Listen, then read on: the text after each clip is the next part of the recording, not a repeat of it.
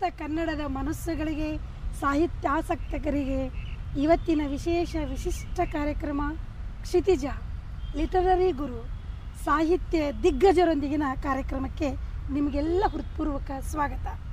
ಇವತ್ತಿನ ಕಾರ್ಯಕ್ರಮ ಬರೀ ದಿಗ್ಗಜರಲ್ಲ, ದೊಡ್ಡ ವಿದ್ವಾಂಸರು. ಬಹುಶಃ ನಮ್ಮ ಇವತ್ತಿನ ಈ ಕ್ಷಿತಿಜ, ಲಿಟರರಿ ಗುರು ಇದೆಯಲ್ಲ, ಒಂದು ದೊಡ್ಡ ಕ್ಷಿತಿಜವನ್ನು ನಿಮ್ಮ ಮುಂದೆ ತಂದಿಡ್ತಾ ಇದೆ. ಹಂಪ, ನಾಗರಾಜಯ್ಯ ಅವರು. ತೆಂಕಣಗಾಳಿ ಸೋಂಕಿದೊಡಂ, ಒಳ್ನುಡಿಗೇಳ್ದೊಡಂ, ಇಂಪನಾಳ್ದ ಗೇಯಂ ಕಿವಿಬೊಕ್ಕಡಂ, ಬಿರಿದ ಮಲ್ಲಿಗೆ ಗಂಡೊಡಂ, ಏನೆನೆಂಬೆನ್ ಇಟ್ಟೊಡಂ ನೆನವುದೆನ್ನ ಮನಂ ಬನವಾಸಿ ದೇಶಮಂ. ಚಾಗದ, ಭೋಗದ, ಅಕ್ಕರದ, ಗೇಯದ ಗೊಟ್ಟಿಯ ಲಂಪಿ ನಿಂಪುಗಳ್ಗ ಆಗರಮಾದ ಮನಸರೇ ಮನಸರ್. ಅಂಥವರೇನಾಗಿಯುಮೇನೋ ಪುಟ್ಟುವುದು ನಂದನದೋಳ್, ಬನವಾಸಿ ದೇಶದೋಳ್, ಕೋಗಿಲೆಯಾಗಿ, ಮೇಣ್ಮರಿದುಂಬಿಯಾಗಿ. ಇದು ಕನ್ನಡದ ಆದಿಕವಿ ಮಹಾಕವಿ ಪಂಪ ತನ್ನ ವಿಕ್ರಮಾರ್ಜುನ ವಿಜಯ ಎನ್ನುವ ಮಹಾಕಾವ್ಯದಲ್ಲಿ ಹೇಳಿರುವ ಅತ್ಯುತ್ತಮವಾದ ಪದ್ಯಗಳಲ್ಲಿ ನಾಡು ನುಡಿಯನ್ನು ಕುರಿತಂತಹ ಎರಡು ವೃತ್ತ ಪದ್ಯಗಳಿವು. ಇಂಥ ಪದ್ಯಗಳನ್ನು ಓದಿಕೊಂಡೇ ನಾನು ಈ ಮಟ್ಟಕ್ಕೆ, ಈ ಎತ್ತರಕ್ಕೆ ಬರುವುದಕ್ಕೆ ಸಾಧ್ಯವಾದದ್ದು. ನನ್ನ ಬದುಕಿನ ಭಾಳ ಸಂತೋಷವಾದ ಕ್ಷಣಗಳು ಅಂತಂದರೆ ಕಾವ್ಯದ ಆರಾಮದಲ್ಲಿ ಆರಾಮವಾಗಿ ವಿಹರಿಸಿಕೊಂಡು ಒಂದು ಉದ್ಯಾನವನದಲ್ಲಿ ಹೋದಾಗ ಏನು ಒಂದು ಆನಂದ ಆಗುತ್ತೋ ಕಾವ್ಯೋದ್ಯಾನದ ಸಾಹಿತ್ಯದ ಉದ್ಯಾನವನದಲ್ಲಿ ಸಂಚರಿಸುವಾಗಲೂ ನಾನು ಅದೇ ಸಂತೋಷವನ್ನು, ಅದೇ ತೃಪ್ತಿಯನ್ನು, ಅದೇ ಆನಂದವನ್ನು ಪಟ್ಟು ಇಂದಿಗೂ ಅದನ್ನು ನಾನು ಬಯಸ್ತೇನೆ. ನನ್ನ ಚೇತನ, ನನ್ನ ಮನಸ್ಸು ಅದನ್ನೇ ಅದಕ್ಕಾಗಿ ಹಂಬಲಿಸ್ತಾ ಇರುತ್ತೆ. ನಮಸ್ಕಾರ. ನಿರ್ಮಲಾ ನಮಸ್ಕಾರ. ಅವರೇ? ಈ ಸಮಯ ಸಾಹಿತ್ಯಮಯ ಈ ಸಮಯ ಸಂಗೀತಮಯ. ನಾವು ಈ ಸಂಗೀತಮಯದ ಈ ಕ್ಷಿತಿಜ ಲಿಟರರಿ ಗುರು ಕಾರ್ಯಕ್ರಮದಲ್ಲಿ ಬಹಳಷ್ಟು ನಿಮ್ಮ ಬದುಕಿನ ಬಗ್ಗೆ ಮಾತನಾಡೋಕ್ಕಿದೆ. ನಿಮ್ಮ ಬಾಲ್ಯ ನಿಮ್ಮ ಬದುಕಿನ ತಿರುವುಗಳು ನಿಮ್ಮ ಸಾಹಿತ್ಯದ ಆಯಾಮಗಳು ಕನ್ನಡ ಸಾರಸ್ವತ ಲೋಕಕ್ಕೆ ನೀವು ಕೊಡುಗೆ ಕೊಟ್ಟಂಥದ್ದು. ಇದ್ರ ಬಗ್ಗೆ ಎಲ್ಲ ಮಾತನಾಡೋದಿದೆ. ನಾವು ಇದಕ್ಕಿಂತ ಮುಂಚೆ ಹಂಪ ಹಂಪನ ಅವರ ಹಳ್ಳಿ. ನಿಮ್ಮ ಬದುಕು ನಿಮ್ಮ ಬಾಲ್ಯ ನೀವು ಹೇಗಿದ್ರಿ? ನಿಮ್ಮ ಶಾಲೆಯಲ್ಲಿ ಕುರ್ಚಿಯನ್ನು ಗುರುಗಳ ಕುರ್ಚಿ ಹಂಗೆ ಕೂತ್ಕೊಂಡ್ಬಿಟ್ಟು ಬಯಸ್ಕೊಂಡು ಹೊರಗಡೆ ಬಂದು ಸ್ವಾಭಿಮಾನದಿಂದ ಮತ್ತೆ ಆ ಶಾಲೆಯನ್ನು ತುಳಿಲಾರೆ ಅಂತ ಹೊರಗಡೆ ಬಂದು ಆ ಶಾಲೆಯ ಗುರುಗಳಾದಂಥ ನಮ್ಮ ಶ್ರೀನಿವಾಸ ಅಯ್ಯಂಗಾರ್ ಅವರು ನಿಮ್ಮನ್ನು ಅತಿಥಿಗಳಾಗಿ ಕರೀತಾರೆ. ಹೌದು. ಅದ್ರ ಬಗ್ಗೆ ತುಂಬಾ ಮಾತನಾಡೋದಿದೆ. ಅದಕ್ಕಿಂತ ಮುಂಚೆ ಹೇಗಿದ್ದ ಹೇಗಿದ್ದ ಗೊತ್ತಾ? ನಮ್ಮ ಚಿನ್ನಾರಿ ಮುತ್ತ.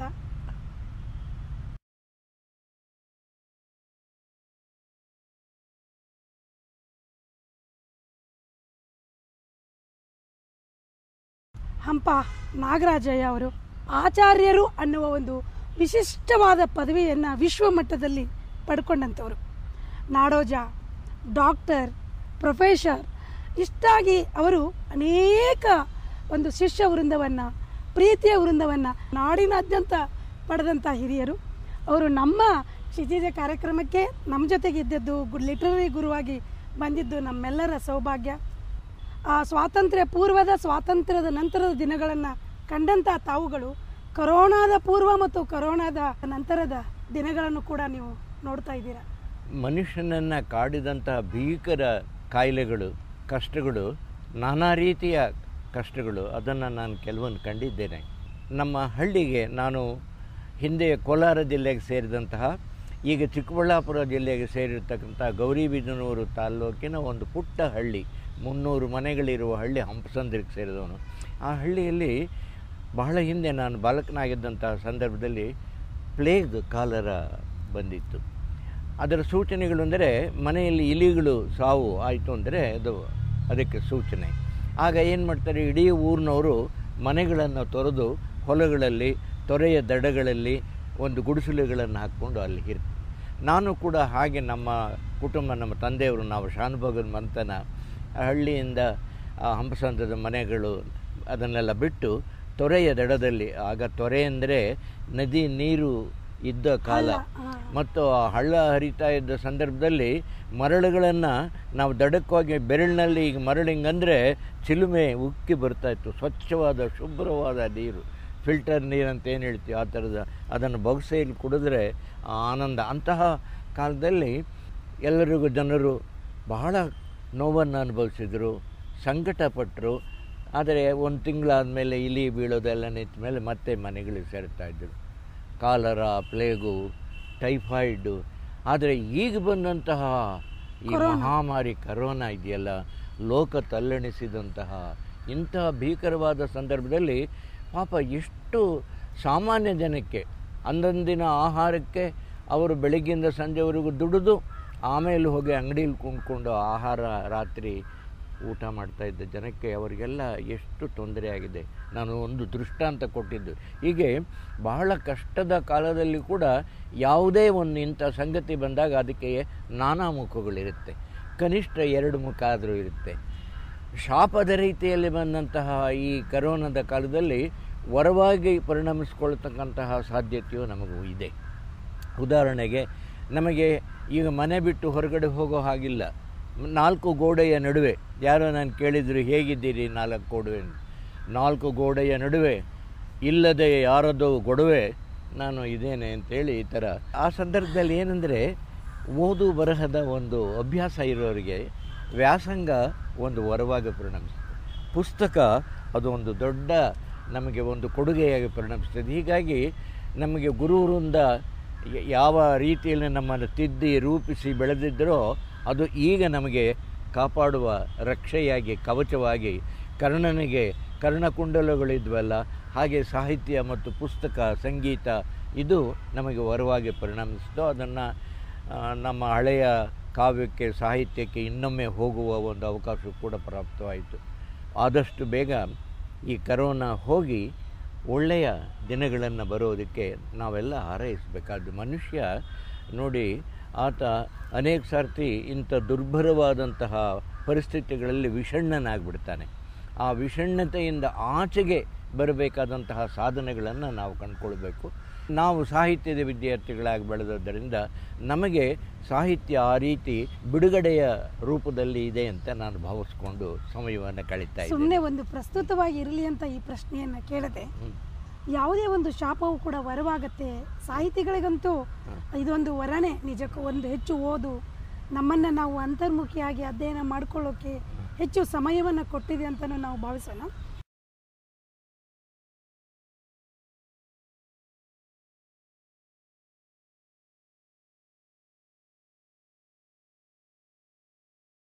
ಹಳ್ಳಿಯ ಹೈದ ನಾಗರಾಜಯ್ಯ ಅವರು ಮೂವತ್ತಕ್ಕಿಂತ ಹೆಚ್ಚು ದೇಶಗಳನ್ನು, ವಿದ್ವತ್ಪೂರಿತ ಭಾಷಣಗಳು, ಲೇಖನಗಳನ್ನು ಐದು ನೂರಕ್ಕಿಂತ ಹೆಚ್ಚು ಕೃತಿಗಳು, ಬಹುಶಃ ಒಂದು ಜೀವಮಾನದಲ್ಲಿ ಇಷ್ಟೆಲ್ಲ ಮಾಡೋಕ್ಕೆ ಸಾಧ್ಯನಾ?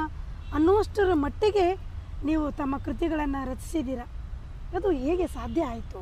ಇದು ನನಗೆ ಸೋಜುಗಾರಿ, ಅನೇಕ ಸರ್ತಿ ನನಗೆ ಬೆರಗು ಆವರಿಸ್ಕೊಳ್ಳುತ್ತೆ. ಹೌದಾ ಇದು? ನಾನು ಒಂದು ಸಣ್ಣ ಹಳ್ಳಿಯಲ್ಲಿ ಹುಟ್ಟಿದವನು. ಹೀಗೆ ಈ ಮಟ್ಟಕ್ಕೆ ಬರೋಕ್ಕೆ ಹೇಗೆ ಸಾಧ್ಯವಾಯಿತು ಅಂತ ನನ್ನನ್ನು ನಾನು ಪ್ರಶ್ನಿಸಿಕೊಂಡು ಅಂತರ್ಮುಖಿ ಒಳಗಣ್ಣನ್ನು ತೆರೆದು ನೋಡಿದಂಥ ಸಂದರ್ಭದಲ್ಲಿ ಇದಕ್ಕೆ ಬಹಳ ಜನಕ್ಕೆ ನಾನು ಕೃತಜ್ಞನಾಗಿರಬೇಕಾಗುತ್ತೆ. ಇದು ನಮ್ಮ ಜಿ ಎಸ್ ಶಿವನವರು ಒಂದು ಕವಿತೆಯನ್ನು ರಚಿಸಿದ್ದಾರೆ. ಎನಿತು ಜೀವದಲ್ಲಿ, ಎನಿತು ರೂಪದಲ್ಲಿ ನಾವು ಋಣಿಯಾಗಿರಬೇಕು. ತಿಳಿದು ನೋಡಿದರೆ ಬಾಳು ಎಂಬುದಿದು ಋಣದ ರತ್ನಗಣಿಯೋ ಅಂತ ಬರೆದಿದ್ದಾರೆ. ನಾನು ಹಾಗೆ ಬಾಲ್ಯದಲ್ಲಿ ನನಗೆ ಜನ್ಮ ಕೊಟ್ಟ ತಾಯಿ, ತಂದೆ, ನಮ್ಮ ತಂದೆ ತುಂಬ ಸಂಸ್ಕೃತ, ಪ್ರಾಕೃತ, ಇಂಗ್ಲೀಷ್, ಮುಖ್ಯವಾಗಿ ಕನ್ನಡ, ಅದನ್ನು ಓದಿಕೊಂಡು ಅವರು ಆ ಕಾಲದಲ್ಲಿ ಮೈಸೂರಿಗೆ ಹೋಗಿ ಬನ್ಮಯ ಶಾಲೆಯಲ್ಲಿ ಓದಿದಂಥವರು. ಜೊತೆಗೆ ನಮ್ಮ ಪೂರ್ವಜರು ನಾವು ವಾಸ್ತವವಾಗಿ ಚಿಕ್ಕಮಗಳೂರು ಜಿಲ್ಲೆ ಅಂತ ಹೇಳಿದ್ದಾರೆ. ಆದರೆ ಮುನ್ನೂರು ವರ್ಷಗಳ ಹಿಂದೆ ನಾವು ಚಿಕ್ಕಮಗಳೂರು ಜಿಲ್ಲೆಯ ಮತ್ತಾವರ ಎನ್ನುವ ಒಂದು ಊರಿನಿಂದ ಬಂದವರು. ಏಕೆಂದರೆ ಅದಕ್ಕೂ ಪೂರ್ವದವರು ನಾವು ಹೊಯ್ಸಳರ ಕಾಲದಲ್ಲಿ ನಮ್ಮ ವಂಶಸ್ಥರಿಗೆ ಹಗಲು ದೈವಟ್ಟಿಗೆ ಮರ್ಯಾದೆ ಇತ್ತು. ಕಾರಣಾಂತರದಿಂದ ಚಿಕ್ಕಮಗಳೂರು ಜಿಲ್ಲೆ ಮತ್ತಾವರನ್ನು ತೊರೆದು ಇಲ್ಲಿಗೆ ಕೋಲಾರ ಜಿಲ್ಲೆಯಾಗಿದ್ದ, ಈಗ ಚಿಕ್ಕಬಳ್ಳಾಪುರ ಜಿಲ್ಲೆಯ ಗೌರಿಬಿದನೂರು ತಾಲೂಕಿನ ಹಳ್ಳಿಗೆ ಬಂದು ನಾವು ನೆಲೆಸಿದ್ವು. ಹಾಗೆಯೇ ನಮ್ಮ ತಂದೆಗೆ ಆ ಹಿನ್ನೆಲೆ ಮತ್ತು ಪರಂಪರೆ ಇತ್ತು. ನಮ್ಮ ಇನ್ನೂ ನೂರು ವರ್ಷದ ಹಿಂದಿನ ಹಿರಿಯರು ಹಸ್ತಪ್ರತಿಗಳನ್ನು ಓಲೆಗರಿಯಲ್ಲಿ ಮಾಡಿದಂಥ ಹಸ್ತಪ್ರತಿಗಳು ದೊರೆತಿವೆ. ಅಂತಹ ಹಸ್ತಪ್ರತಿಗಳು ಬೆಂಗಳೂರು ವಿಶ್ವವಿದ್ಯಾನಿಲಯದ ಹಸ್ತಪ್ರತಿ ಭಂಡಾರದಲ್ಲಿ ಇವತ್ತಿಗೂ ಕೂಡ ಇವೆ. ಅಂದರೆ ನಮ್ಮ ಪರಂಪರೆಯಲ್ಲಿ ಈ ವಿದ್ಯುತ್ತಿನ ಪ್ರವಾಹ ಒಂದು ಅದರ ಹರಿವು ಇರೋದನ್ನು ನನ್ನ ಪ್ರಕಾರದಲ್ಲಿ ನನ್ನ ರೂಪದಲ್ಲಿ ಅದು ಪ್ರಕಟವಾಯಿತು ಅಂತ ಕಾಣುತ್ತೆ. ಆಮೇಲೆ ಮಹಾರಾಜ ಕಾಲೇಜಿಗೆ ಹೋಗಿ ಸೇರಿದ ಮೇಲೆ ನಮ್ಮ ಕಾಲದ ಶ್ರೇಷ್ಠ ಗುರು ಪರಂಪರೆಯ ಆಶೀರ್ವಾದ ಅವರ ರಕ್ಷೆ ಅವರ ಬೋಧನೆಯ ಲಾಭ ಜ್ಞಾನಗಂಗೆಯಲ್ಲಿ ಮಿದ್ದೇಳತಕ್ಕಂತಹ ಮಿಂದು ಯಾ ನೋಡಿ ಅದೆಲ್ಲ Kuvempu. Teenam Srikantaiah D L Narasimhacharya S V Parameshwar Bhatta ಜವರೇಗೌಡರು K ವೆಂಕಟರಾಮಪ್ಪನವರು ಹೌದು ದೊಡ್ಡ ಒಂದು ಶ್ರೇಣಿ ಒಂದು ಪರಂಪರೆ ಅವರ ಹೆಸರುಗಳು ಅವೆಲ್ಲ ಪ್ರಾತಸ್ಮರಣೀಯರಾದವರು ಪುಣ್ಯ ಶ್ಲೋಕರಾದಂಥವರು ಆ, ಹೀಗಾಗಿ ಅವರ ತಿಳುವಳಿಕೆಯ ಬೆಳಕಿನಲ್ಲಿ ನನ್ನ ಬದುಕನ್ನು ರೂಪಿಸಿಕೊಳ್ಳತಕ್ಕಂತಹ ಒಂದು ಸದವಕಾಶ ನನಗೆ ಪ್ರಾಪ್ತವಾಯಿತು. ಮತ್ತು ಒಳ್ಳೆ ಗ್ರಂಥಾಲಯ ಇತ್ತು. ನಮಗೆ ಗುರುಗಳು ಹೇಳೋರು ಬರೀ ನಾಲ್ಕು ಗೋಡೆಯ ನಡುವೆ ನಾವು ಪಾಠ ಹೇಳ್ತೀವಲ್ಲ ಅಷ್ಟಕ್ಕೆ ಸೀಮಿತರಾಗಿ ಕೊಡೋದು. Make a pilgrimage to the library. ಭಕ್ತರು ಹೇಗೆ ಅವರು ತೀರ್ಥಯಾತ್ರೆ ಹೋಗ್ತಾರೋ ಹಾಗೆ ನೀವು ಸರಸ್ವತ ಭಕ್ತರು ಸರಸ್ವತಿಯ ಭಕ್ತರು ಗ್ರಂಥಾಲಯವೇ ನಿಮ್ಮ ದೇವಾಲಯ ಅಲ್ಲಿ ಹೋಗಿ ಓದಿ ಅಂತೇಳಿ ಹೀಗಾಗಿ ನಮ್ಮ ಹೆಚ್ಚಿನ ಬಿಡುವಿನ ಸಮಯವನ್ನು ನಾವು ಅಲ್ಲಿ ಕಳೀತಾ ಇದ್ವಿ. ಇನ್ನೊಂದು ಆಚಾರ್ಯ ಹಂಪನ ಅವರು ಆ ಸಂದರ್ಭದಲ್ಲಿ ಕೇವಲ ಮೂರು ವಿಶ್ವವಿದ್ಯಾನಿಲಯಗಳು ಒಂದು ಕಲ್ಕತ್ತಾ ಒಂದು ಮುಂಬೈ ಇನ್ನೊಂದು ಮದ್ರಾಸ್ ಈಗಿನ ಚೆನ್ನೈ. ಕರ್ನಾಟಕದ ಪ್ರಥಮ ವಿಶ್ವವಿದ್ಯಾನಿಲಯ ಮೈಸೂರು ಮೈಸೂರು. ಆ ವಿಶ್ವವಿದ್ಯಾನಿಲಯದಿಂದ ಬಂದವರು ಕುವೆಂಪು ಅವರು ಆ ಪರಂಪರೆಯಲ್ಲಿ ನೀವು. ಹೌದು. ನಿಮ್ಮನ್ನು ನೋಡೋದು ನಮ್ಮ ಜನರೇಷನ್ ಒಂದು ಬಹುಶಃ ಈ ಗುರು ಪರಂಪರೆಯಲ್ಲಿ ಒಂದು ಅದೃಷ್ಟನೇ. ನಮ್ಮ ಲಿಟರರಿ ಗುರು ಕಾರ್ಯಕ್ರಮದಲ್ಲಿ ಬಹುಶಃ ಇಂಥ ಹಿರಿಯ ಗುರುಗಳು. ಈಗ ಇವತ್ತು ನಮ್ಮ ಜೊತೆಗಿರೋದು ಭಾಗ್ಯನೇ ಸರಿ. ಈಗ ಕುವೆಂಪು ಅವರ ಒಂದು ಒಡನಾಟ ಅದರ ಜೊತೆಗೆ ನಿಮ್ಮ ಒಡನಾಡಿ ದೊರೆತ ಸ್ಥಳ ನಿಮ್ಮ ಸಂಗಾತಿ ಅರ್ಧಾಂಗಿ. ಈ ಸಂದರ್ಭದಲ್ಲಿ ನನಗೊಂದು ನೆನಪು ಹಾಡು. ಕುವೆಂಪು ಅವರೇ ಬರೆದಿದ್ದು. ತುಂಬ ಅದ್ಭುತವಾದ ನಿಮ್ಮ ದಾಂಪತ್ಯದ ಬಗ್ಗೆ ಇನ್ನೂ ಇದೆ ಮಾತನಾಡೋಕ್ಕೆ ಬಹುಶಃ ಕನ್ನಡ ನಾಡಿಗೆ ಇರುವಂತಹ ಏಕೈಕ ನಾಡೋಜ ದಂಪತಿಗಳು. ಹಂಪ ನಾಗರಾಜಯ್ಯ ಮತ್ತು ನಮ್ಮ ಕಮಲಾ ಹಂಪನ ಮೇಡಮ್ ಅವರು. ಅವರಿಗೆ ಕುವೆಂಪು ಅವರು ಇಬ್ಬರಿಗೂ ಕೂಡ ಗುರುಗಳೇ. ಆ ಗುರುಗಳ ಈ ಹಾಡು ಈ ದಾಂಪತ್ಯಕ್ಕೆ ತುಂಬ ಸೂಕ್ತ ಆಗತ್ತೆ. ಕೇಳುಗರೆ ನಾನು ಹೇಳೋದೇನೆಂದರೆ ಕುವೆಂಪು ಅವರು ಒಂದು ಅದ್ಭುತವಾದಂಥ ಒಂದು ಹಾಡು ದಾಂಪತ್ಯ ಗೀತೆ. ನಾನಿನಗೆ ನೀ ನನಗೆ ಜೇನಾಗುವ. ಹೂ ಆಗುವ ರಸದೇವ ಗಂಗೆಯಲ್ಲಿ ಮಿಂದು ಇಂಥ ಅದ್ಭುತವಾದ ಗೀತೆಯನ್ನ ಇವರ ದಾಂಪತ್ಯಕ್ಕೆ ನಾವು ಡೆಡಿಕೇಟ್ ಮಾಡಿದ್ರೆ ಹೇಗೆ?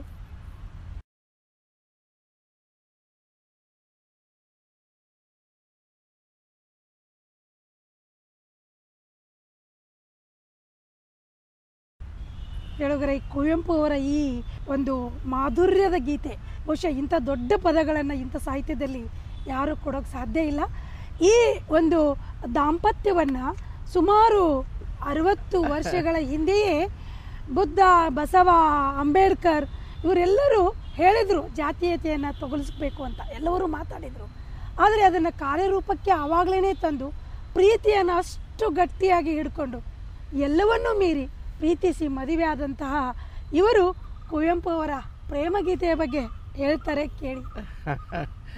ನೋಡಿ, ಕುವೆಂಪು ಅವರು ಸಾಮಾನ್ಯವಾಗಿ ಹೇಳೋದು, ಅವರು ರಾಮಕೃಷ್ಣ ಆಶ್ರಮದಲ್ಲಿ ಬಹಳ ಕಾಲ ಇದ್ದು ಬೆಳೆದೋದ್ರಿಂದ ಕೇವಲ ಆಧ್ಯಾತ್ಮಿಕ ಪ್ರಪಂಚಕ್ಕೆ ಸಂಬಂಧಿಸಿದಂಥ ಕವಿತೆಗಳನ್ನು ಬರೆದಿದ್ದಾರೆ ರಾಮಾಯಣ ದರ್ಶನ ಬರೆದಿದ್ದಾರೆ, ಮತ್ತು ವಿವೇಕಾನಂದರ ಬಗ್ಗೆ, ರಾಮಕೃಷ್ಣ ಪರಮಹಂಸರ ಬಗ್ಗೆ ಕೃತಿಗಳನ್ನು ಬರೆದಿದ್ದಾರೆ ಆದರೆ ಕುವೆಂಪು ಅವರು ಪ್ರೇಮ ಕವನಗಳನ್ನು ಪ್ರೇಮಗೀತೆಗಳನ್ನು ಅದ್ಭುತವಾದ ಪರಿಣಾಮಕಾರ, ಒಂದು ಸರ್ತಿ ಓದಿದ್ರೆ ಮರೆಯೋದಕ್ಕೆ ಸಾಧ್ಯವೇ ಇಲ್ಲ ಅನ್ನುವಂತಹ ಅನೇಕ ಕವಿತೆಗಳನ್ನು ಅವರು ರಚಿಸಿದ್ದಾರೆ. ಪ್ರೇಮ ಕಾಶ್ಮೀರ ಅವರು ಒಂದು ಕವನ ಸಂಕಲನದ ಹೆಸರು ಮತ್ತು ಕುವೆಂಪು ಅವ್ರ ಸ್ವಾರಸ್ಯ ಅಂತಂದರೆ ಅವರ ಮಡದಿ ಹೇಮಾವತಿ. ಹೇಮಾವತಿಯವರಿಗೆ ಅವರು ನಾಮಕರಣ ಮಾಡಿದಂಥವರು ಕುವೆಂಪು ಅವರೇ. ಕುವೆಂಪು ಅವರ ಸಂಬಂಧದವರು ಅವರು. ಹೀಗಾಗಿ ಮೈಸೂರಿನಲ್ಲಿ ಓದ್ತಾ ಇದ್ದಂಥ ಈ ಯುವಕ ಕುಪ್ಪಳಿಗೆ ಹೋದಂಥ ಸಂದರ್ಭದಲ್ಲಿ ಅವರು ಬಳಗದವರು ಆಗ ತಾನೇ ಹುಟ್ಟಿದಂತಹ ಹೆಣ್ಣು ಮಗುವಿಗೆ ಇವನ ನಾಮಕರಣ ಮಾಡಪ್ಪ, ಈ ಕಾಲದ ಒಂದು ಹೆಸರು ಹೇಳುತ್ತ ಅವರು ಹೇಮಾವತಿ ಅಂತ ಹೆಸರಿಟ್ಟರು ಮುಂದೆ ಆಕೆಯೇ ಅವರ ಮಡದಿಯಾಗಿ ದೊರೆತದ್ದು ಇದೊಂದು ಯೋಗ ಯೋಗ. ಬಹುಶಃ ನಿಮ್ಮ ಈ ಗುರುಗಳ ಪ್ರಭಾವನೂ ಕೂಡ ನಿಮ್ಮ ದಾಂಪತ್ಯದ ಮೇಲೆ ಹೆಚ್ಚು ಪ್ರಭಾವ ಬೀರಿದೆ ಅಂತ ಅನ್ಸುತ್ತೆ. ಇದೆ ಅಂತ ಅನಿಸುತ್ತೆ ನನಗೆ ಇರಬಹುದು ನೋಡಿ ಅನೇಕ ಪ್ರಭಾವಗಳನ್ನು ನಾವು ಮೈಗೂಡಿಸ್ಕೊಂಡಿರ್ತೇವೆ. ಅದನ್ನು ಒಂದೊಂದಾಗಿ ಒಂದೊಂದಾಗಿ ಪ್ರತ್ಯೇಕವಾಗಿ ಬಿಡಿಸಿ ಹೇಳೋದಕ್ಕಾಗೋದಿಲ್ಲ. ಒಟ್ಟಾರೆ ಅದರ ಸಮಷ್ಟಿ ಪರಿಣಾಮವನ್ನು ನಾವು ಆಲೋಚಿಸಿದ ಸಂದರ್ಭದಲ್ಲಿ ಎಲ್ಲೋ ಗುರುಕಾರಣ್ಯದ ಜೊತೆಗೆ ಅವರ ಬದುಕಿನ ಒಂದು ಎಳೆಯು ನನ್ನ ಮೇಲೆ ಪ್ರಭಾವ ಬೀರಿದಾಗ ಕಾಣುತ್ತೆ. ಈಗ ಆಚಾರ್ಯ ಹಂಪನ ನಾಡೋಜಿ ಅವ್ರ ಬಗ್ಗೆ ಬೇರೆ ಬೇರೆ ಮಾಧ್ಯಮಗಳಲ್ಲಿ ಜಾಸ್ತಿ ಜನ ತಿಳ್ಕೊಂಡ್ಬಿಟ್ಟಿರ್ತಾರೆ. ಆದರೆ ನನಗೆ ವೈಯಕ್ತಿಕವಾಗಿ ಒಂದು ಕುತೂಹಲ ಏನಂತಂದರೆ, ನೀವು ಎಲ್ಲೂ ಕೂಡ ನಿಮ್ಮ ಸಾಹಿತ್ಯದಲ್ಲಿ ದೊಡ್ಡದಾದಂಥ ಆಕ್ರೋಶವನ್ನು ಅಥವಾ ಆ ಅಸಹನೆಯನ್ನು ವ್ಯಕ್ತ ಮಾಡಲ್ಲ. ಅದು ಎಲ್ಲ ತನ್ನನೆಯ ಜ್ವಾಲಾಮುಖಿಯಾಗಿ ಹರಿತಾ ಇರುತ್ತೆ. ಯಾರ ಕಣ್ಣಿಗೂ ಕಾಣಲ್ಲ. ನೀವು ಎಲ್ಲೇ ಒಂದು ಕಡೆ ಆದರೂ ಕೂಡ ನಿಮ್ಮ ಸ್ವಾಭಿಮಾನವನ್ನು, ನಿಮ್ಮ ಅನಿಸಿಕೆಯನ್ನು, ನಿಮ್ಮ ಅಸ್ಮಿತೆಯನ್ನು ಎಲ್ಲೂ ಬಿಟ್ಕೊಡೋಕ್ಕೆ ಪ್ರಯತ್ನ ಮಾಡಲ್ಲ. ಇಲ್ಲ ಅದು ನಾನು ತುಂಬ ಅದನ್ನು ಗೌರವಿಸುವಂತಹ ನಿಮ್ಮ ಒಂದು ಗುಣ. ಈ ಒಂದು ಲಕ್ಷಣಕ್ಕೆ ಏನು ಕಾರಣ ಇರ್ಬೋದು ನಿಮ್ಮ ಗುರು ಪರಂಪರೆಯಲ್ಲಿ? ನೋಡಿ ನಾವು ಎಷ್ಟೇ ಓದಿರ್ಬೋದು ಅಥವಾ ಓದಿಲ್ಲದೆ ಇರ್ಬೋದು ಪ್ರತಿಯೊಬ್ಬ ಮನುಷ್ಯನಲ್ಲಿಯೂ ಕೂಡ ಆತ್ಮಾಭಿಮಾನ ಅನ್ನೋದಿದೆಯಲ್ಲ ಅದು ಬಿಟ್ಕೊಡ್ಬಾರ್ದು ಬಹಳ ಮುಖ್ಯ ಅದು. ಅವಿದ್ಯಾವಂತನಾಗಿರಲಿ ಆತನು ಕೂಡ ಯಾವುದೇ ಪ್ರಸಂಗ ಬಂದರೂ ತನ್ನ ಸ್ವಾಭಿಮಾನವನ್ನು ಬಿಟ್ಕೊಡೋದಿಲ್ಲ. ಹಾಗಾಗಿ ನಮ್ಮ ಮನೆತನದಲ್ಲೂ ಕೂಡ ಇದು ಮೊದಲಿನಿಂದ ಇತ್ತು ಅಂತ ನಮ್ಮ ತಂದೆಯವರು ಆಗಾಗ್ಗೆ ಹೇಳೋದುಂಟು. ಗೌರಿ ವಿದುರನ ಆಚಾರ್ಯ ಪಾಠಶಾಲೆಯಲ್ಲಿ ಓದ್ತಾ ಇದ್ದಂಥ ಒಂದು ಪ್ರಸಂಗವನ್ನು ನಿರ್ಮಲ ಇಲಿಗಾರ್ ನೀವು ಮತ್ತೆ ಮತ್ತೆ ಅದನ್ನು ಪ್ರಸ್ತಾಪಿಸ್ತಾ ಇದ್ದಾರೆ. ಅದರ ಹಿನ್ನೆಲೆ ಏನು ಅಂತಂದರೆ, ನಾನು ಅಲ್ಲಿ ಓದ್ತಾ ಇದ್ದಂತಹ ಕಾಲದಲ್ಲಿ ಆ ಭಾಗದಲ್ಲಿ ಇಡೀ ಗೌರಿಬಿದನೂರು ತಾಲ್ಲೂಕಿಗೆ ಒಂದೇ ಪ್ರೌಢಶಾಲೆ ಇದ್ದಿದ್ದು. ಅದು ಆಚಾರ್ಯ ಪ್ರೌಢಶಾಲೆ ಅಂತ. ಅದು ಬೆಂಗಳೂರಿನಲ್ಲಿ ಆಚಾರ್ಯ ಒಂದು ದೊಡ್ಡ ಕುಟುಂಬ ಇತ್ತು. ಅವರು ಬೆಂಗಾಲ್ ಲ್ಯಾಂಪ್ಸು ಅದನ್ನೆಲ್ಲ ಇದು ಮಾಡ್ತಾಯಿದ್ರು ಅವರು ದಾನ ಕೊಟ್ಟು ಪ್ರಾರಂಭಿಸಿದಂಥ ಒಂದು ವಿದ್ಯಾಲಯ. ಸೊ ಅಲ್ಲಿ ಆಗ ಸ್ವಾತಂತ್ರ್ಯ ಬಂದಂಥ ಹೊಸ ಕಾಲಘಟ್ಟ. ಹೀಗಾಗಿ ಸ್ವಾತಂತ್ರ್ಯ ಚಳುವಳಿಯಲ್ಲಿ ಭಾಗವಹಿಸಿದಂತಹ ಒಬ್ಬ ಹಿರಿಯರ ಮಗ ಆಗಿದ್ದಂಥ ಶ್ರೀನಿವಾಸ ಅಯ್ಯಂಗಾರನ್ನವರು ಅಲ್ಲಿ ನಮಗೆ ಮುಖ್ಯೋಪಾಧ್ಯಾಯರಾಗಿದ್ದರು ಅವರು ಯಾವಾಗಲೂ ಖಾದಿಯನ್ನೇ ಧರಿಸ್ಕೊಂಡು ಬರ್ತಾಯಿದ್ದರು ಖಾದಿ ಟೋಪಿ ಎಲ್ಲ ಹಾಕ್ಕೊಳ್ತಾ ಇದ್ದರು. ಖಾದಿಯ ವಾತಾವರಣ, ಸ್ವಾತಂತ್ರ್ಯ ವಾತಾವರಣ ಮತ್ತು ಗಾಂಧೀಜಿಯವರ ಪ್ರಭಾವದಲ್ಲಿಯೇ ಮಿಂದೇಳುವ ಶಾಲೆಯಾಗಿತ್ತು ಅದು. ಹಾಗಿದ್ದಾಗ ವಿದ್ಯಾರ್ಥಿಗಳಿಗೆ ಸಾಕ್ಷಿ ಚಿತ್ರಗಳನ್ನು ತೋರಿಸ್ತಾ ಇದ್ದರು. ವಿದ್ಯಾರ್ಥಿಗಳೆಲ್ಲ ಕೆಳಗಡೆ ಕೂತ್ಕೋಬೇಕು. ಗುರುಗಳೆಲ್ಲ ಒಂದು ಎತ್ತರದ ಜಗತಿ ಇತ್ತು. ಅದರ ಮೇಲೆ ಕೂತ್ಕೊಳ್ತಾ ಇದ್ದರು. ನಾನೊಂದು ಸರ್ತಿ ಏನು ಮಾಡಿದೆ ನಾ ಒಂದು ಖಾಲಿ ಇತ್ತು ಕುರ್ಜಿ. ಅದರಲ್ಲಿ ಹೋಗಿ ಕುಳಿತುಬಿಟ್ಟೆ. ಒಬ್ಬ ಅಧ್ಯಾಪಕರಿಗೆ ಅದು ಹಿಡಿಸಲಿಲ್ಲ. ಮುಖ್ಯೋಪಾಧ್ಯಾಯರಾದಂಥ ಶ್ರೀನಿವಾಸ ಅಯ್ಯಂಗರು ಹೋಗಿ ದೂರು ಕೊಟ್ಟು ಇವನು ಮಹಾ ಪಟಿಂಗ, ಇವನು ನೋಡಿ ಗುರುಗಳು, ಹಿರಿಯರು ಅನ್ನೋ ಒಂದು ಭಕ್ತಿನಲ್ಲಿ ಇಲ್ಲ. ಈ ಥರ ಎಲ್ಲ ಹೇಳಿದರು. ಮುಖ್ಯೋಪಾಧ್ಯಾಯರು ತರಗತಿಗೆ ಬಂದವರೇ, ಅವಾಗ ನಾನು ಎಸ್ ಎಲ್ ಸಿ ಓದ್ತಾ ಇದ್ದೆ, ಸಾವಿರದ ಒಂಬೈನೂರ ಐವತ್ತೆರಡು ಐವತ್ತ್ಮೂರನೇ ಇಸ್ವಿ. ಅವರು ತರಗತಿಗೆ ಪ್ರವೇಶಿಸಿದವರೇ, ಎಚ್ ಪಿ ನಾಗರ ಯಾರು, stand up on the bench ಅಂದರು. ಇದೇನು ಹೀಗೆ ಹೇಳ್ತಂದು ನಾನು ನಿಂತ್ಕೊಳ್ಳಿಲ್ಲ ನಾನು. ನಿನಗೆ ಹೇಳ್ತಾ ಇರೋದು stand up on the bench ಅಂದರು. ನಾನೇನು ಮಾಡಿದೆ, ನಾನು ಪುಸ್ತಕಗಳೆಲ್ಲ ತೆಗೆದುಕೊಂಡು ಹೊರಗಡೆಯಿಂದ ಹೊರಟೋದೆ ನಾನು. ಅವ್ರಿಗೂ ಅದು ಸ್ವಲ್ಪ ಆಶ್ಚರ್ಯ ಆಯಿತು. ನಾನು ನಮ್ಮ ಹಳ್ಳಿಗೆ ಹೋಗಿ ನಮ್ಮ ತಂದೆಗೆ ಹೇಳಿದೆ, ನಾನು ಈ ಶಾಲೆಯಲ್ಲಿ ಓದೋದಿಲ್ಲ, ನಾನು ಹೊರಟೋದು ಯಾಕೋ ಏನಾಯಿತು ಅಂತ ನಮ್ಮ ತಂದೆಯವರು ಹೇಳಿ, ಇಲ್ಲ, ನನ್ನ ಎಲ್ಲರ ಎದುರಿನಲ್ಲಿ ನಾನು ತಪ್ಪು ಮಾಡಿಲ್ಲದೆ ಇದ್ದರೂ ಕೂಡ ವಿನಾಕಾರಣ ನಿಷ್ಕಾರಣವಾಗಿ ನನ್ನನ್ನು ಕುರ್ಜಿ ಮೇಲೆ, ಬೆಂಚ್ ಮೇಲೆ ನಿಂತ್ಕೊಂತ ಹೇಳ್ತಾ ಇದ್ದಾರೆ. ಇದು ನನಗೆ, ನನ್ನ ಮನಸ್ಸು ಒಡಂಬಿಡೋದಿಲ್ಲ, ಒಪ್ಪೋದೇ ಇಲ್ಲ ಅಂತ ಹೇಳಿ. ನಮ್ಮ ತಂದೆಯವರು ಇರಲಿ, ಮುಖ್ಯೋಪಾಧ್ಯಾಯರ ಜೊತೆಯಲ್ಲಿ ಮಾತಾಡ್ತೀನಿ ಅಂಥೇಳಿ ನಮ್ಮ ಪಟೇಲ್ರ ಮಗ ಒಬ್ಬರು ಇದ್ದರು, ವೆಂಕಟೇಗೌಡರು ಅಂತೇಳಿ ಅವರು ಆ ಶಾಲೆಯಲ್ಲಿ ಅಧ್ಯಾಪಕರಾಗಿದ್ದರು ಸ್ವಲ್ಪ ಕಾಲ. ಅವರೆಲ್ಲ ಬಂದು ಮುಖ್ಯೋಪಾಧ್ಯಾಯರ ಜೊತೆಯಲ್ಲಿ ಮಾತಾಡಿದ್ರೆ. ಇರಲಿ, ನಿಮ್ಮ ಹುಡುಗನ ಕಳಿಸಿ ಅಂದರು. ಈಗ ನಾನು ಮಾತಾಡಿದ್ದೀನಪ್ಪ, ಹೋಗು. ಆ ವೇಳೆಗಾಗಿದೆ ಏನೆಂದರೆ ಇಡೀ ಶಾಲೆಯಲ್ಲಿ ದೊಡ್ಡ ಪುಕಾರು. ಈ ಹುಡುಗ ಮುಖ್ಯೋಪಾಧ್ಯಾಯರ ವಿರುದ್ಧ ನಿಂತಿದ್ದಾನೆ ಸೆಣತು ಅಂತ. ಕೆಲವರು ಆ ಮುಖ್ಯೋಪಾಧ್ಯಾಯರ ಶಿಸ್ತಿನ ಬಗ್ಗೆ ಅವರಿಗೆ ಪ್ರೀತಿ ಇಲ್ಲದೆ ಇದ್ದವರು ಇಂಥ ಒಂದು ಅವಕಾಶಕ್ಕೆ ಕಾಯ್ತಾ ಇದ್ದರು ಸೊ ಅವರೆಲ್ಲ ನನ್ನನ್ನು ಹುರಿದುಂಬಿಸೋ ರೀತಿಯಲ್ಲಿ ಮಾತಾಡ್ತಾ ಇದ್ದರು ಇರಲಿ. ನಾನು ಹೋದ್ಮೇಲೆ ಮುಖ್ಯೋಪಾಧ್ಯಾಯರು ಅವರ ಚೇಂಬರಿಗೆ ಬರಮಾಡ್ಕೊಂಡ್ರು ಅದು ಮಹಡಿ ಮೇಲಿತ್ತು. ಅವಾಗ ಹೇಳಿದ್ರು, ಏನೇ, ಹೋಗಿ ಊರಿನಲ್ಲೆಲ್ಲ ಹೇಳ್ಬಿಟ್ಟಿದ್ದೀಯಾ? ಇರಲಿ. ನೋಡಿ, ಇಲ್ಲೊಂದು ಸ್ಟೂಲ್ ಹಾಕ್ಸಿದ್ದೀನಿ. ನಿನ್ನ ತರಗತಿಯಲ್ಲಿ ನಿಲ್ಲಿಸ್ತಾ ಇಲ್ಲ. ನನ್ನ ಚೇಂಬರ್ ಇದು ನಾನು, ನೀನು ಇಬ್ಬರೇ ಇರೋದು. ಸ್ಟೂಲ್ ಮೇಲೆ ನಿಂತ್ಕೊ ನೀನು. ಒಂದು ಐದು ನಿಮಿಷ ಆದರೂ ನಿಂತ್ಕೊಳ್ಳೇಬೇಕು. ತರಗತಿ ಒಳಗಾದರೇನೋ ಇಲ್ಲೇನೋ ಅಂದರು. ಎಂಥ ವ್ಯತ್ಯಾಸ ಏನಾಗೋದಿಲ್ಲ. ನಾನು ತಪ್ಪು ಮಾಡಿಲ್ಲ ನಾನು ನಿಂತ ಗಿಡ ಹೊಟ್ಟು ಅಂದರು.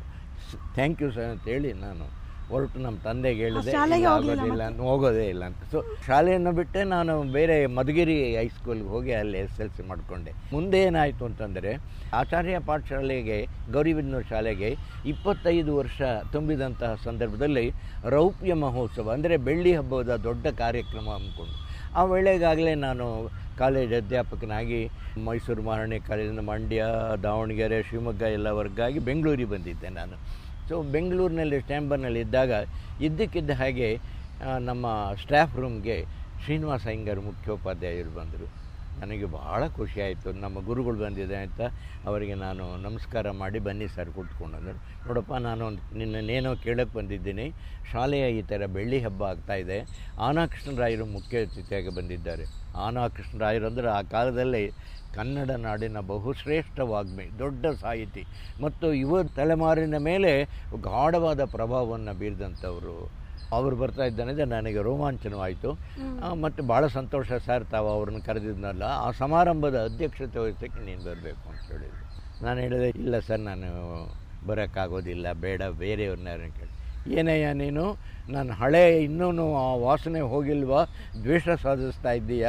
ನಾನು ಅವತ್ತೇನೋ ಹೇಳಿದೆ ತಪ್ಪು ಮಾಡಿದ್ದೆ ಅನ್ನೋ ಒಂದು ಭಾವನೆಯಿಂದ ಸ್ಟ್ಯಾಂಡಪ್ ಆನ್ ದಿ ಬೆಂಚ್ ಅಂತ ಹೇಳಿದವನು. ಇವತ್ತು ಸಿಡೋನ್ ಆನ್ ದಿ ಚೇರ್ ಅಂತ ಹೇಳ್ತಾ ಇದ್ದೀನಿ. ಎಂಥ ಕಾರ್ಯಕ್ರಮ ನೀನು ನೀನು ದಯವಿಟ್ಟು ಬರಬೇಕಪ್ಪ ಅಂದರು.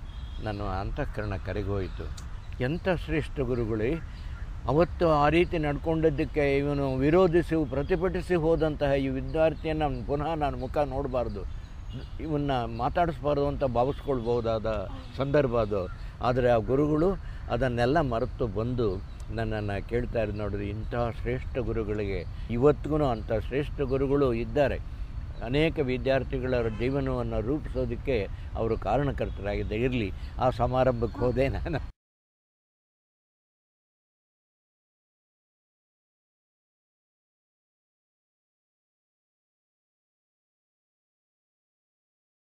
ಸ್ವಾತಂತ್ರ್ಯ ಪೂರ್ವದಲ್ಲಿ ಅನೇಕ ಆಂದೋಲನಗಳು ಚಳುವಳಿಗಳು ಅವಾಗ ನೀವು ಪಾಲಕರು. ಹೌದು. ಬಹುಶಃ ಸ್ವಾತಂತ್ರ್ಯಕ್ಕಾಗಿ ಒಂದು ಗಾಂಧೀಜಿಯವರು ಕರೆ ಕೊಡ್ತಾ ಇದ್ದಾರೆ ಅನ್ನೋ ಒಂದು ಸ್ವಲ್ಪ ಆ ಒಂದು ಪ್ರಭಾವ ಹೇಗಿತ್ತು? ಸ್ವಾತಂತ್ರ್ಯ ಪೂರ್ವದ ಒಂದು ಗುರಿ ಆಗಲಿ ಅಥವಾ ನಿಮ್ಮ ಆಲೋಚನೆಗಳಾಗಲಿ ಅಥವಾ ಶಿಕ್ಷಣದ ಮೌಲ್ಯಗಳ ಒಂದು ಒಟ್ಟಾರೆ ಇದು ಹೇಗಿತ್ತು ಅಂತ ಅನಿಸುತ್ತೆ ನಿಮಗೆ? ಅದು ಇಡೀ ದೇಶದಲ್ಲೇ ಒಂದು ಆದರ್ಶಕ್ಕಾಗಿ ಒಂದು ತಹತಹ ಇತ್ತು. ಮತ್ತು ಬಿಡುಗಡೆಯ ಹಸಿವು ಆ ದಾಹ ಅದು ಹೆಪ್ಪುಗಟ್ಟಿತ್ತು. ನಾವು ಆಗ ಇನ್ನೂ ಬಾಲಕ. ಏನಾಯಿತು ನಮ್ಮ ಮನೆಯಲ್ಲಿ? ಯಾರೋ ಹೇಳಿದರು ನಮ್ಮ ತಂದೆ ತಾಯಿಗೆ ಅದು ಗಂಡ್ಮಗ ಮಗ ಇಲ್ಲೇ ಇದ್ದರೆ ಅವನು ಉಳ್ಕೊಳ್ತಾನೋ ಇಲ್ವೋ ಬೇರೆ ಕಡೆ ಓದಿಸೋದಕ್ಕೆ ಕಳಿಸಿ ಅಂತ ಹೇಳಿದ್ರಂತೆ ಶಾಸ್ತ್ರ. ನಮ್ಮ ತಂದೆಯವರು ನಮ್ಮ ಚಿಕ್ಕಮ್ಮ ಮಂಡ್ಯದಲ್ಲಿದ್ದರು ಅಲ್ಲಿಗೆ ಕಳಿಸ್ಕೊಟ್ಟಿದ್ರು. ಆಗ ಸಾವಿರದ ಒಂಬೈನೂರ ನಲವತ್ತ ಎರಡನೇ ಇಸುವಿಗೆ ನಾನು ಮಂಡ್ಯಕ್ಕೆ ಹೋದಂಥವನು ಆವಾಗ ಸ್ವಾತಂತ್ರ್ಯ ಆಗ ಎಲ್ಲರೂ ಅಲ್ಲಿ ಕಸ್ತೂರ್ಬಾ ಪಾರ್ಕ್ ಅಂತ ಇತ್ತು ಮಂಡ್ಯದಲ್ಲಿ. ಈಗಲೂ ಇದೆ ಈಗಲೂ ಇದೆ.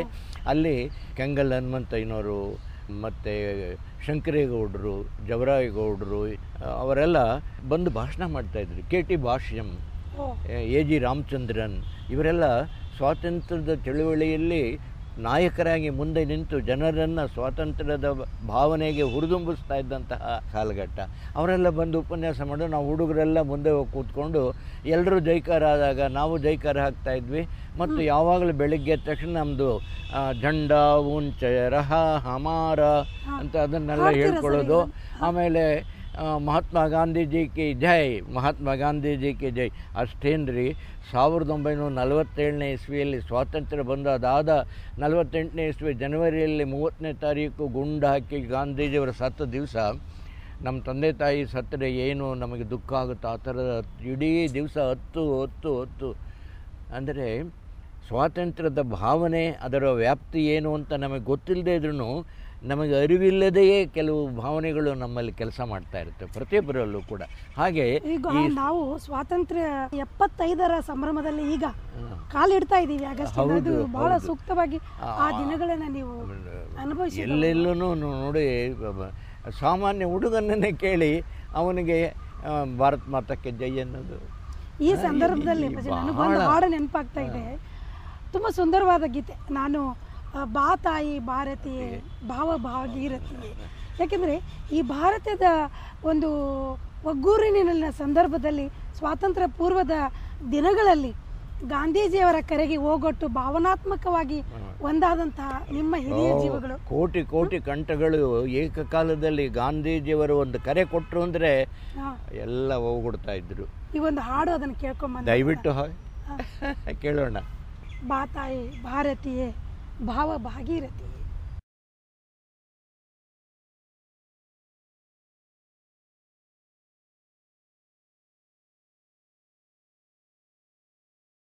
ನಮ್ಮ ಜೊತೆಗಿದ್ದಾರೆ ಆಚಾರ್ಯ, ನಾಡೋಜ, ಪ್ರೊಫೆಸರ್ ಅಂಪ ನಾಗರಾಜಯ್ಯವರು.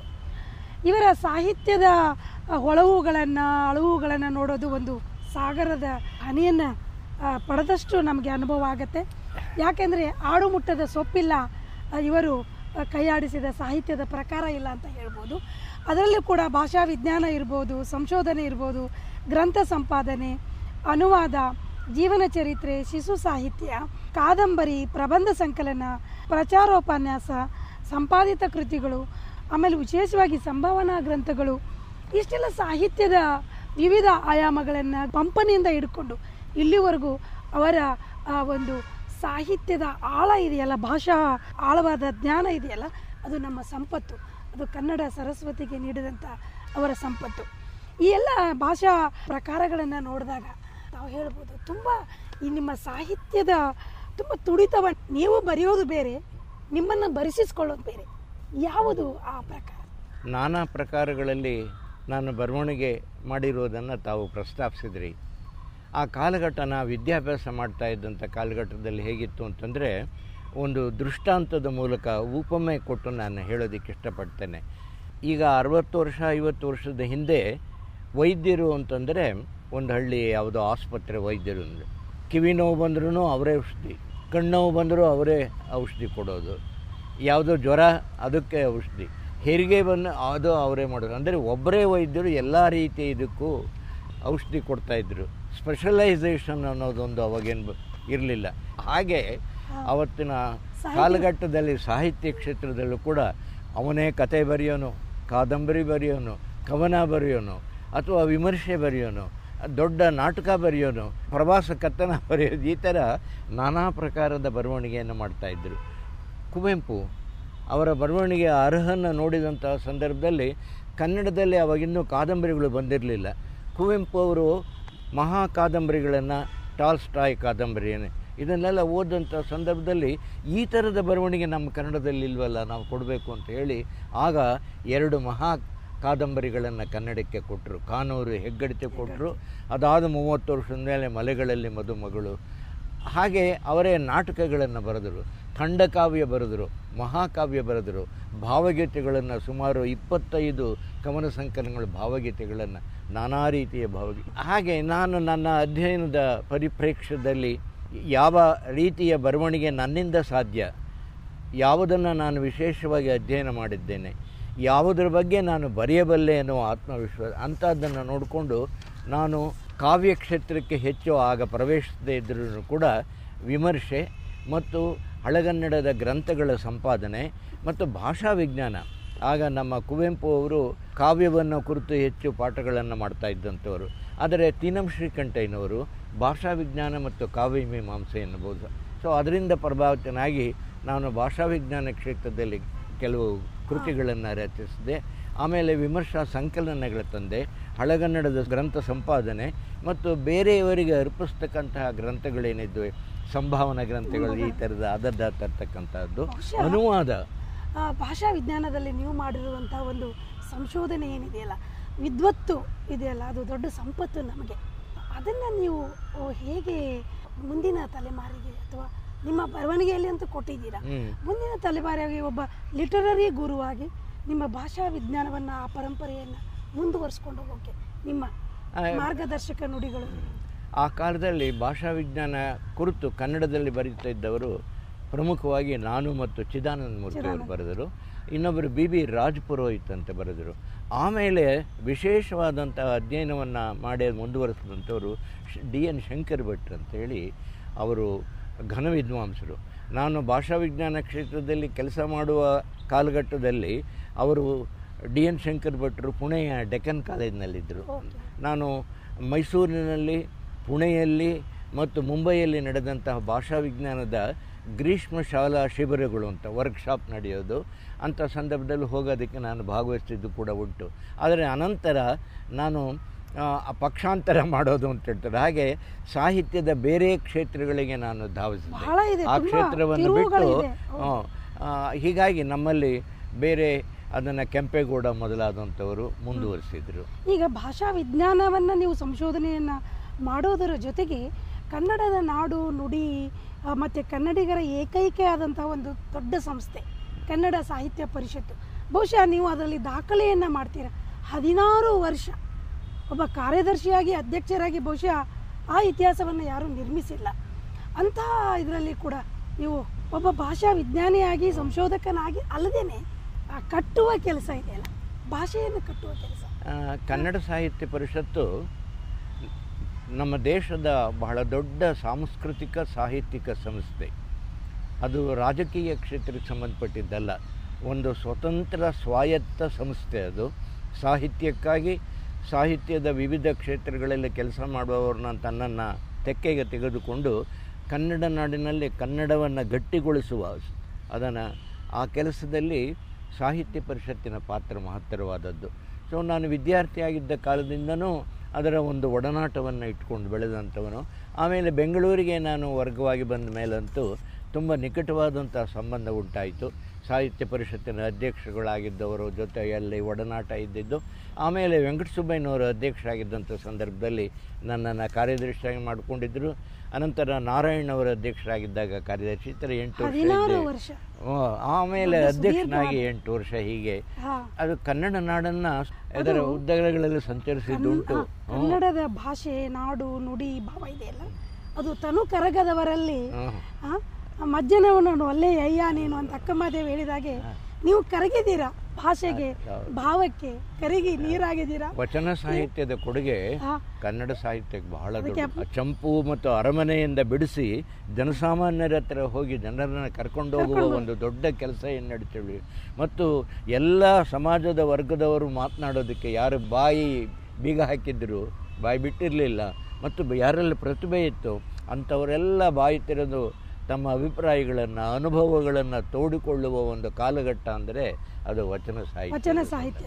ನೀವು ಅದು ಸಾಹಿತ್ಯ ಬಗ್ಗೆ ಹೇಳುವಾಗ ಅದರಲ್ಲೂ ಕೂಡ ಪಂಪನ ನಂತರ ಹೌದು. ಅದು ಪ್ರಭಾವ ಬೀರುವಂತಹ ಜೈನ ಸಾಹಿತ್ಯದ ಬಗ್ಗೆನೂ ಕೂಡ ಅಮೋಘವಾದ ಅಧ್ಯಯನವನ್ನು ಮಾಡಿದಂಥ ವಿದ್ವಾಂಸರು ನೀವು. ಹೀಗಿರುವಾಗ ಒಂದು ಅಕ್ಕಮಹಾದೇವಿ ವಚನ ಈಗ ನನಗೆ ನೆನಪಾಗ್ತಿದೆ. ತಾವೇ ಹೇಳಿದ ಹಾಗೆ ತನು ಕರಗದವರಲ್ಲಿ ವಚನ ಅದು? ಕೇಳ್ಕೊಂಡು ಬರೋಣ ಅದು ಸಾಹಿತ್ಯಕ್ಕೆ ಸಾಹಿತ್ಯ ಮತ್ತು ಸಂಗೀತಕ್ಕೆ ಸಂಗೀತ ಅನುಭವ ಅನುಭವ ಅದರಿಲ್ಲ ಮಿಸ್ಟಿಕ್ ಎಕ್ಸ್ಪೀರಿಯನ್ಸ್ ಅದ್ಭುತವಾದಂತಹ ಹಾಡು.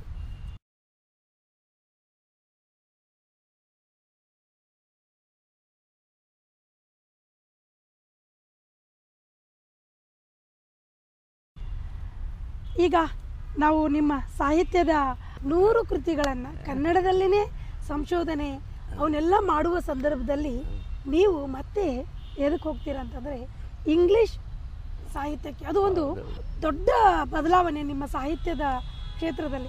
ಯಾಕೆ ಆ ಮನಸ್ಸು ಅಥವಾ ಆ ಒಂದು ನಿರ್ಧಾರಕ್ಕೆ ಯಾಕೆ ಬಂತು ಇದು ಒಂದು ಪ್ರಮುಖವಾದ ಘಟ್ಟವನ್ನು ಕುರಿತು ತಾವು ಪ್ರಸ್ತಾಪಿಸಿದ್ದೀರಿ. ಏನೆಂದರೆ ನನಗೆ ಅವಕಾಶದ ಬಾಗಿಲುಗಳು ತೆರೆದು ಯಾವಾಗ ಜ್ಞಾನದ ಒಂದು ಮುಕ್ತ ದ್ವಾರ ಆಯಿತೋ ಆಗ ಇನ್ನೊಂದು ಅಂತಾರಾಷ್ಟ್ರೀಯ ಅಧಿವೇಶನಕ್ಕೆ ಹೋಗೋದಕ್ಕೆ ಹಣ ಸಹಾಯ ಮಾಡಿತು ಬೆಂಗಳೂರು ವಿಶ್ವವಿದ್ಯಾನಿಲಯ. ಸಾವಿರದ ಒಂಬೈನೂರ ತೊಂಬತ್ತನೇ ಇಸ್ವಿಯಲ್ಲಿ ಮೊಟ್ಟ ಮೊದಲು ನಾನು ಅಂತಾರಾಷ್ಟ್ರೀಯ ಅಧಿವೇಶನಕ್ಕೆ ಕೆನಡಾ ದೇಶದ ಟೊರೆಂಟೊ ನಗರದಲ್ಲಿ ನಡೆದಂಥದ್ದು, ಅಲ್ಲಿಂದ ಅಮೇರಿಕಾ ಬೇರೆ ದೇಶಗಳಿಗೂ ಹೋಗು. ಒಟ್ಟು ಸುಮಾರು ಈ ಮೂವತ್ತು ವರ್ಷದಲ್ಲಿ ಒಂದು ಇಪ್ಪತ್ತ ಎಂಟು ದೇಶದ ಜಗತ್ತಿನ ಶ್ರೇಷ್ಠ ವಿಶ್ವವಿದ್ಯಾನಿಲಯಗಳಲ್ಲಿ ನಡೆದಂತಹ ವಿಚಾರ ಸಂಕಿರಣಗಳಲ್ಲಿ, ಕಮ್ಮಟಗಳಲ್ಲಿ, ಸೆಮಿನಾರ್, ಸಿಂಪೋಸಿಯಂ ಇಂಥಗಳಲ್ಲೆಲ್ಲ ಭಾಗವಹಿಸಿ ಕನ್ನಡದ ಒಂದು ಪ್ರತಿನಿಧಿಯಾಗಿದ್ದುಕೊಂಡು ಕನ್ನಡ ಸಾಹಿತ್ಯದ ವಿಸ್ತಾರವನ್ನು, ಕನ್ನಡ ಸಾಹಿತ್ಯದ ವೈವಿಧ್ಯವನ್ನು, ಕನ್ನಡ ಸಾಹಿತ್ಯದ ಮಹತ್ವವನ್ನು ಮನವರಿಕೆ ಮಾಡಿಕೊಡ್ತಕ್ಕಂಥ ಒಂದು ಅವಕಾಶ ನನಗೆ ಕಲ್ಪಿತವಾಯಿತು. ನಾನು ಅದನ್ನು ನೆನೆಸ್ಕೊಂಡಂಥ ಸಂದರ್ಭದಲ್ಲಿ ನನಗೊಂದು ಧನ್ಯತಾ ಭಾವ ಬರುತ್ತೆ. ಯಾಕೆಂದರೆ ಕನ್ನಡ ಸಾಹಿತ್ಯದ ನೋಡಿ ಈ ಹೊತ್ತಿಗೂ ಕೂಡ ಜಗತ್ತಿನ ಶ್ರೇಷ್ಠ ಸಾಹಿತ್ಯದ ಒಂದು ಹೋಲಿಕೆ ಕೊಡಬೇಕು ಅಂತಲೇ ನಮ್ಮ ಕನ್ನಡಕ್ಕೆ ಅಂತ ಒಂದು ಇದು ಹಿರಿಮೆ ಇದೆ. ಅಂತಹ ಒಂದು ಸುದೀರ್ಘವಾದ ಪರಂಪರೆ ಇದೆ. ಇಷ್ಟು ದೀರ್ಘವಾದ ಪರಂಪರೆ ಇಷ್ಟು ವೈವಿಧ್ಯಮಯವಾದಂತಹ ಬರವಣಿಗೆ ಮಾಡಿದ ಮತ್ತು ವಿವಿಧ ಕಾಲಘಟ್ಟಗಳಲ್ಲಿ ಭಿನ್ನ ಭಿನ್ನ ರೀತಿಯ ಪ್ರಕಾರಗಳಲ್ಲಿ ಮಹತ್ವದ ಕವಿಗಳು ಶ್ರೇಷ್ಠ ಕೃತಿಗಳನ್ನು ರಚಿಸಿರುವ ಕನ್ನಡ ಸಾಹಿತ್ಯ ಇದೆಯಲ್ಲ? ಇದಕ್ಕೆ ನಾವೆಲ್ಲ ಹೆಮ್ಮೆ ಪಡಬೇಕಾದಂಥ ಒಂದು ಸಂಗತಿ ಇದು.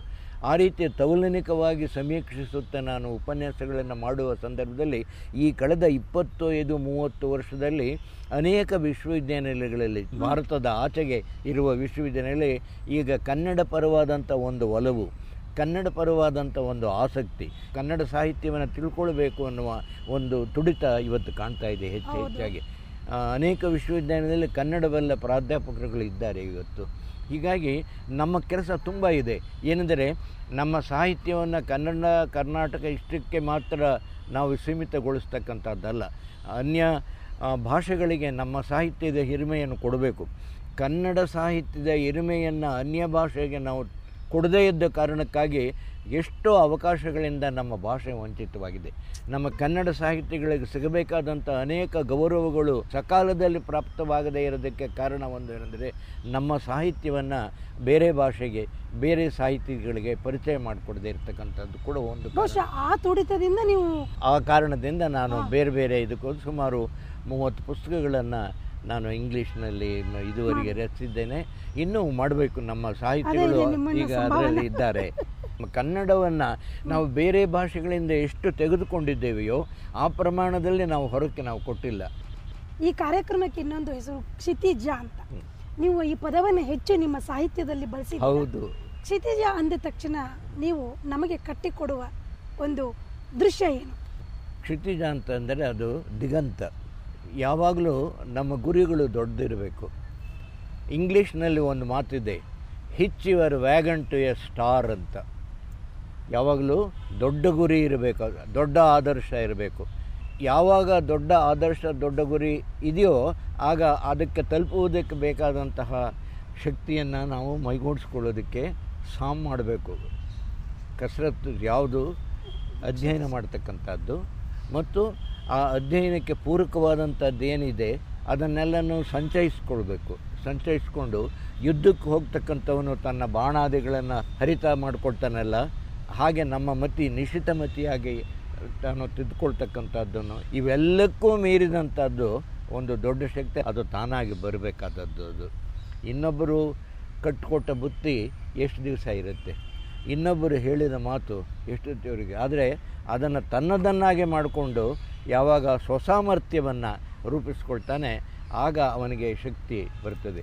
ಇದು ಮಾರುಕಟ್ಟೆಯಲ್ಲಿ ಸಿಗುವ ವಸ್ತುವಲ್ಲ ಅಲ್ಲ. ಅದು ತಾನೇ ಅದನ್ನು ಮಾಡಿಕೊಳ್ಬೇಕಾದಂಥದ್ದು ದೊಡ್ಡವರು ಹೋದಂಥದ ಮಾದರಿಗಳನ್ನು ಇಟ್ಕೊಳ್ಬೇಕು. ಮಾದರಿಗೆ ಸೀಮಿತನಾಗಬಾರ್ದು.